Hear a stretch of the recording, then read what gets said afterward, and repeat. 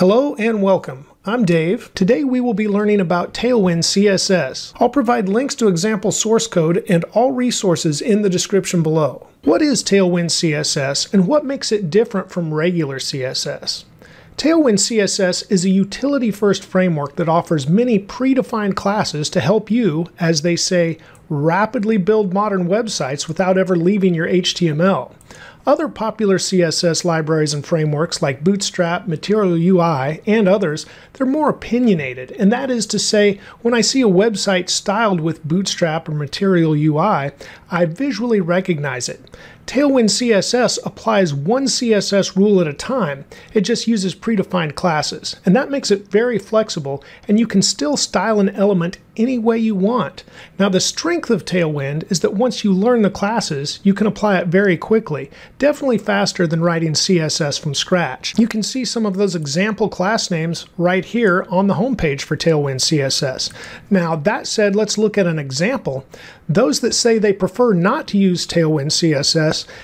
usually talk about how many classes it adds to their HTML and they think it adds clutter. But I'm going to show you how to work around that today too. And I really think you're going to enjoy learning Tailwind CSS. So let's get started. Step one is to make sure you already have some knowledge of HTML and CSS. If you're unsure of your HTML and CSS skills, I recommend completing my beginner's courses for both, and I'll link to these in the description. I'll be assuming you do know CSS during this tutorial, and if you already know CSS, learning Tailwind CSS becomes much, much easier. Step two is to make sure you have all the web dev tools you need. We'll be using the Chrome browser in this tutorial, and I'll give a link to where you can download Chrome if you don't have it. We'll be using the Visual Studio Code code editor, and I'll give this link in the description where you can download Visual Studio Code as well.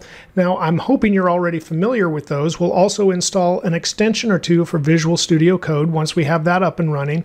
And then we need to install Node.js. You will not be writing any JavaScript. That's not what this is about, but you do need the Node Package Manager to compile your Tailwind CSS code. And don't worry if that sounds complicated. I'll show you how easy it is to do that.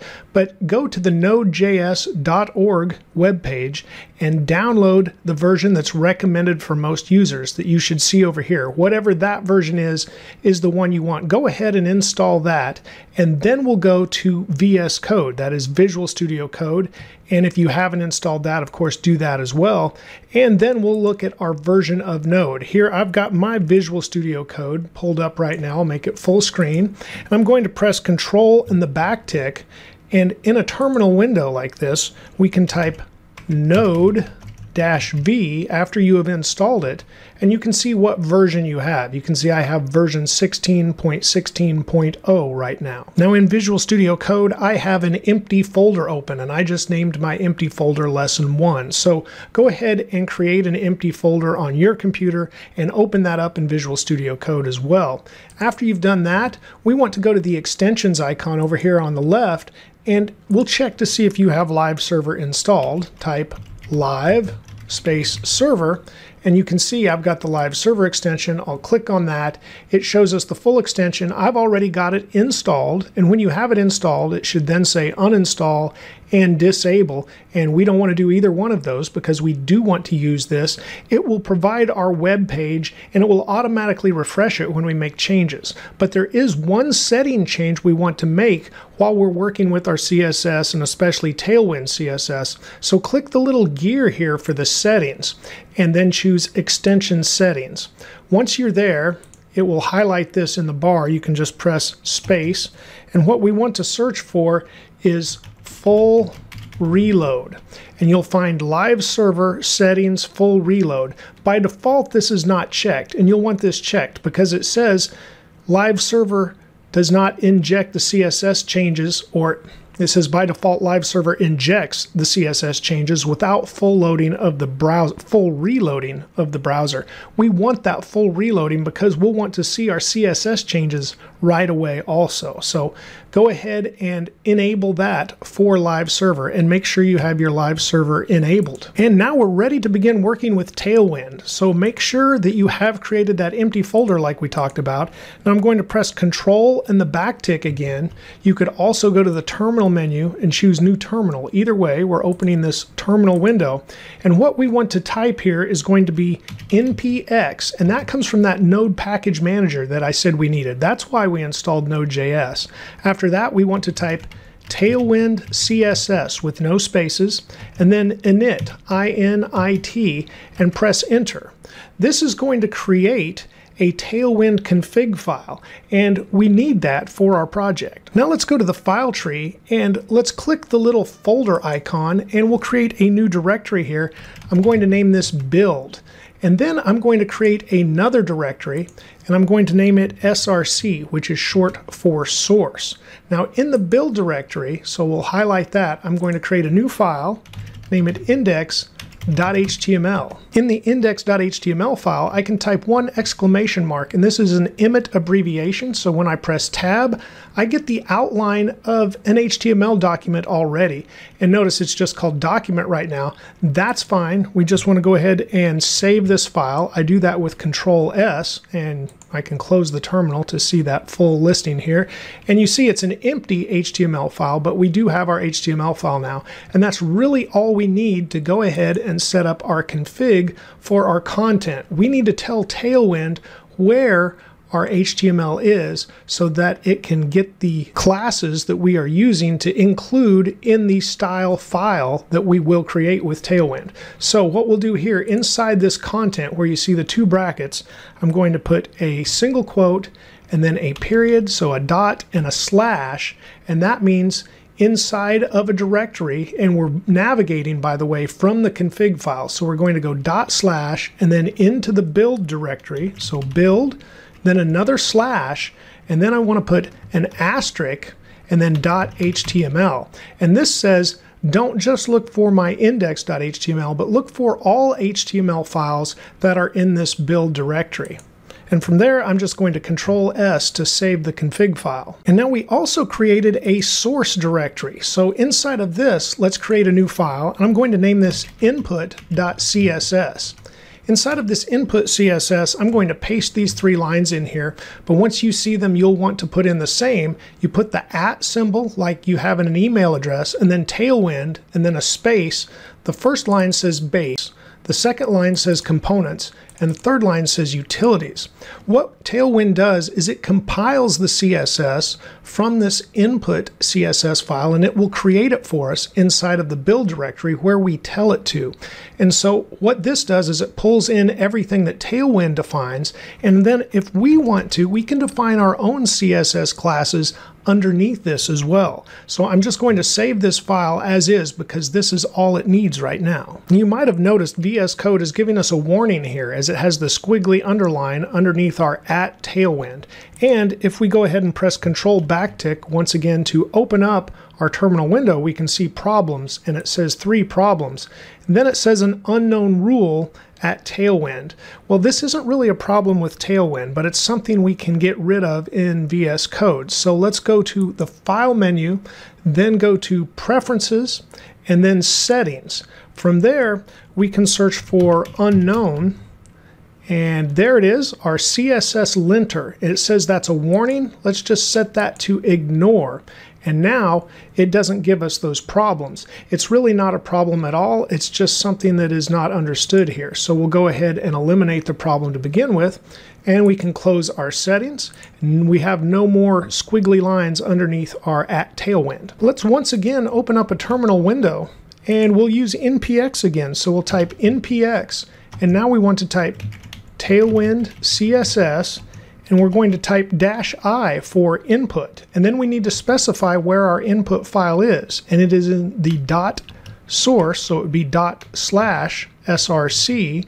We're looking once again from our root into the source directory and then at the input.css file. So after dot slash source, it would be slash input.css. And then we have dash O for output, and we want it to output the compiled CSS inside of dot slash build slash CSS and then slash style.css. So let's go ahead and press enter and we should see that we get our CSS directory created inside of the build directory. And inside of that directory, we now have a style.css. Let's quickly look at this file and I'll close the terminal once again, and you can see it contains the Tailwind styles. And really, it's just minimal because we're not using them all. So we've got 500 and some lines. So those are the base styles essentially. Once we start using more, Tailwind is smart enough to say, hey, they're using those different styles that we have in our library and we need to include those when we compile this file. It was previously called the just-in-time compiler, but now that we're at Tailwind version 3.1, it's already included, so we don't even have to say we're using the just-in-time compiler, it just does it automatically. That is great. So after we've created our style CSS, let's go into this index.html, and now let's add a link tag. So we'll have link, and it's going to be CSS, and it provides the style.css already if you choose it from that drop-down IntelliSense menu like I did. If not, just make sure you type in what we have, but you also need to add that CSS folder because here we're at the index file, then we have to look inside of the CSS directory and then at the style.css. Let's go ahead and add some content to our web page. I'm going to type a div, and then with Emmet abbreviations, I can just type a period and then the class names that I want afterwards. So I'm going to type bg Emerald 500, which is a color class name in Tailwind CSS. After that, I'm going to type W 52 that sets a width, and then H 52 that sets a height. Press Tab, and you can see all three of these classes were applied to this div. Now I'm going to save the HTML. We need to bring the terminal back up. And once again, we need to compile the CSS. If not, this won't be included. So we can pull this up to once again compile the CSS like we have in the past, but what might even be better if we were to type the same line, which says npx tailwind css dash i, and then of course highlights where the input CSS is, and then dash o for the output, highlights where we want the output, and I pressed the up arrow, by the way, to pull my command back up. So that's the down arrow. Here's the up arrow. So it just brings up what I used last time. After that, two dashes and watch. Now, after we put this in motion, it will continue to run and it will watch for any changes we make. So any classes we add to our HTML will recompile that CSS file and we'll see those changes on our page. So let's go ahead and press enter now with the watch flag added. You can see it is rebuilding and it has completed the style CSS and we're ready to take our web page live with live server. So I'll close the terminal, that will continue to run and for live server, we can right click and choose open with live server. We could also use the keystrokes it shows here. Or what I often do is go to the bottom of Visual Studio Code and just click go live, which is right here. So that's what I'm going to do now. It should pull up the browser.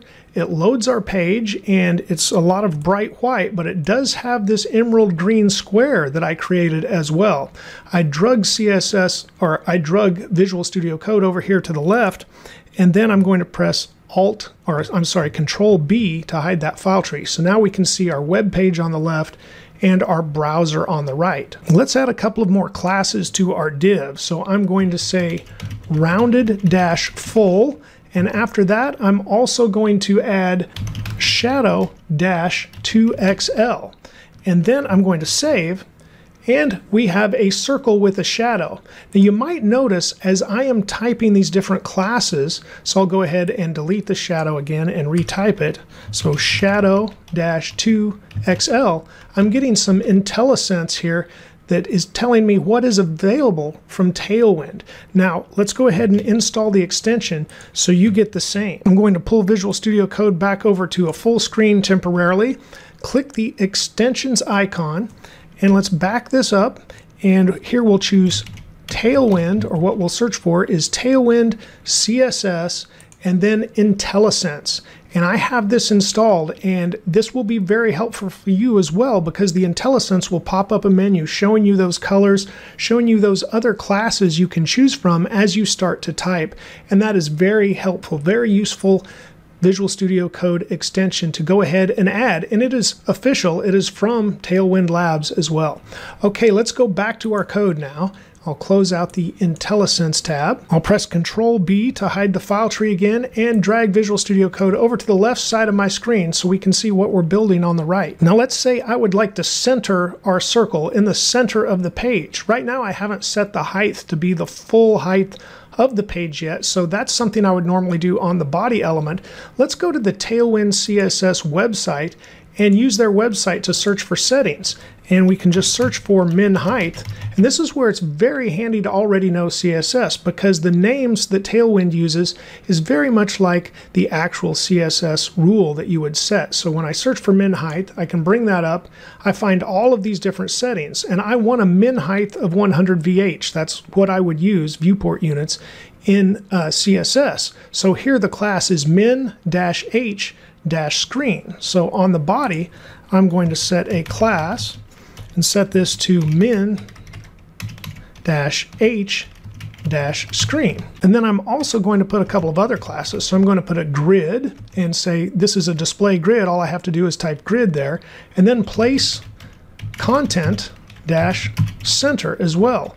And with those classes applied, we'll save. And now let's go back to our page. And our circle is in the center. So I can't overemphasize enough how helpful the Tailwind website is. And it's so easy to just search for what you're looking for. So if I wanted to look at shadows, I could type in shadow. Here's the drop shadow. And then we see all the different classes that are available. And it's telling you the actual CSS that it sets. Also, we'll go back to the page we're creating.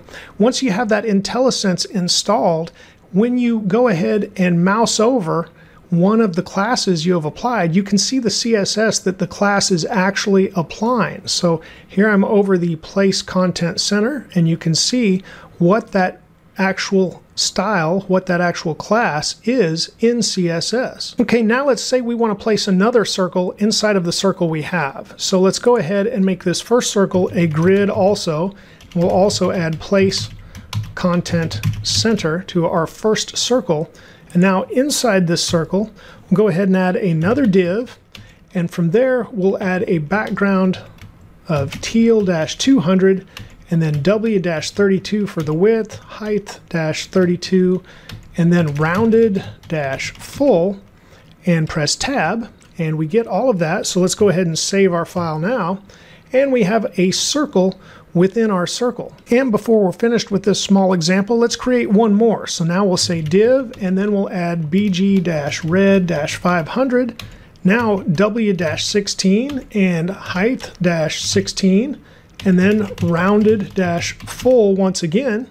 Press tab and we have another div, but what we didn't add was on the parent here, we need a grid and once again a place dash content dash center and we save and now we have a bullseye on our page. Now I'm going to temporarily drag Visual Studio Code back to the full screen and Control B to show the file tree. Let's look at our input.css. One thing we can add here possibly is a background that we want, something that's custom. But before we do, I guess we should see if it exists inside of Tailwind. So I'll bring this back over. Let's go full screen on our search here. And let's search for gradient. So gradient, and we have gradient color stops that came up. Maybe linear gradient. Let's see what we get there. And here are linear, gradients and we can easily see how to define those here in Tailwind. But what I am not seeing, and I'll search for that as well, is a radial gradient, no radial. So there's a few things that Tailwind may not supply, or maybe I didn't find it and I need to look a little further. But either way, I'm going to define a radial gradient class here for my background inside of this input CSS. Remember I said these three lines bring in the Tailwind libraries the base, the components, the utilities, but we can also define our own classes. So I'm going to put radial dash blue, and then inside of this I'll put background, and I will set it to a radial gradient, and I'm going to start with a light yellow, and then I'll end with sky blue. Once I save that, I'm going to go to the HTML, and back here on the body, I'm just going to apply that at the top here. So radial dash blue as a class to add. Now let's drag this over and we'll look at our page once again. And you can see we have a light blue and it's light with that light yellow in the center and it just works its way out to this nice light blue as well. So now you can see my code is all scrunched and it doesn't look too great. I'll bring this back over to a full screen, it's going to look a little bit better, but you can see compared to normal HTML we would write where the CSS is abstracted to another file, adding all of these classes does add quite a bit, but there is a way to work around this. And again, it's with a VS Code extension. So let's search for inline fold and see what we get. Here we go, inline fold a custom decorator that folds matching content it says. So let's go ahead and we could scroll down to look at more of what this does, but let's go ahead and install and let's see what we get after it's installed. So it's installed now. This says uninstall and disable. So it looks like everything is good. Go back to our project and close that out. Look what happened to our row of classes. They're all now dropped down to these three dots makes our page look much more organized. And then when we need to work in one of those lines, we just click in the line. And when we click away, it hides those classes again. So this inline fold extension really removes one of the big complaints that I've heard about Tailwind CSS, that it makes the HTML clunky or filled with too many classes. This way, we only have to look at the classes when we're working on that specific element. So I will link to all of this code in the description under the course resources. And really, this intro to Tailwind may be all you need to get started working with Tailwind CSS because the more you work with it, the easier it will become. And if you already know CSS, you can pretty much just go to the site and search for whatever property, whatever rule you're looking for, and you'll probably find it on the site and know what name to use. And also that IntelliSense extension will help. But if you continue with me on this series, we're going to have some fun and create a project that will, of course, help you get familiar with Tailwind CSS and learn more along the way. Remember to keep striving for progress over perfection. And a little progress every day will go a very long way. Please give this video a like if it's helped you. And thank you for watching and subscribing. You're helping my channel grow. Have a great day, and let's write more code together very soon.